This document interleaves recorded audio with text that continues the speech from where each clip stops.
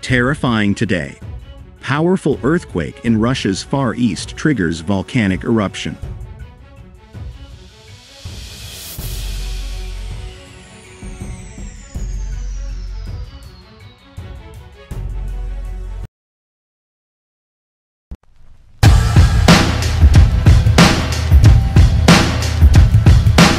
The Shiveluch volcano began erupting shortly after a magnitude 7.0 earthquake struck off the eastern coast of Kamchatka early Sunday. Russia's Shiveluch volcano erupted Sunday, sending a plume of ash 5 kilometers, 3 miles, into the sky over the far eastern Kamchatka Peninsula and briefly triggering a code red warning for aircraft.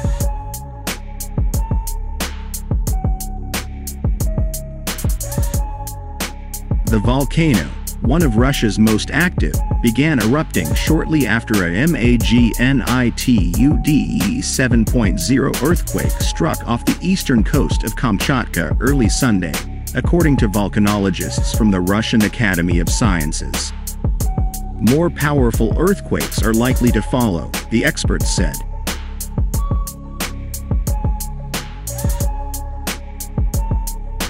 The Academy's Institute of Volcanology and Seismology released video showing a cloud of ash above Shiveluch, which stretches more than 490 kilometers, 300 miles, east and southeast of the volcano.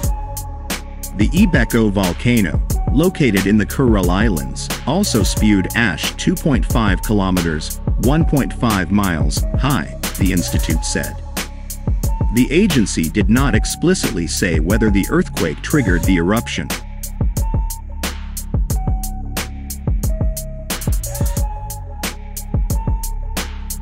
A code red ash cloud warning had put all aircraft in the area on alert, the Kamchatka volcano's eruption response team reported.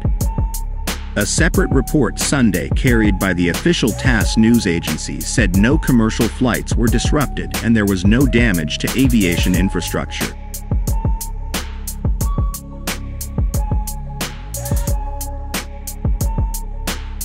The quake in the area may have been a precursor to a stronger earthquake in southeast Kamchatka, Russian scientists warned.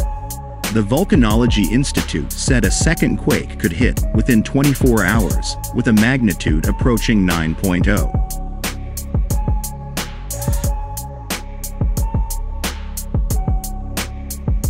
There were no immediate reports of injuries from Sunday's quake, which struck at a depth of 6 kilometers, 3.7 miles, below the seabed with an epicenter 108 kilometers, 67 miles, southeast of the nearest city according to Russian emergency officials. Russian news media cited residents of Petropavlovsk-Kamchatsky.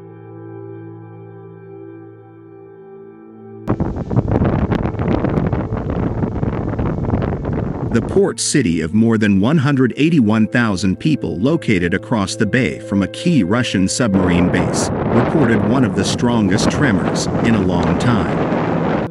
On November 4, 1952, a magnitude 9.0 earthquake in Kamchatka caused damage but no deaths despite triggering waves as high as 9.1 meters, 30 feet, in Hawaii.